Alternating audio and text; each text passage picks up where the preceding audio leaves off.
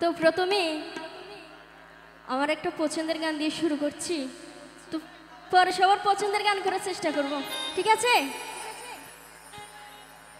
তো বিশেষ করে বক্তিয়ার ভাইয়ের রিকোয়েস্টেড গানটি।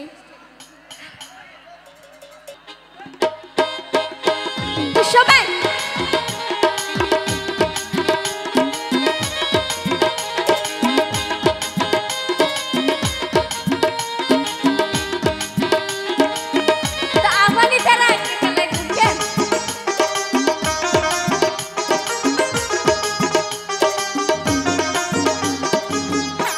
কাগজের লেখায় নয় কবিতার ভাষায় নয় কাগজের লেখায় নয় কবিতা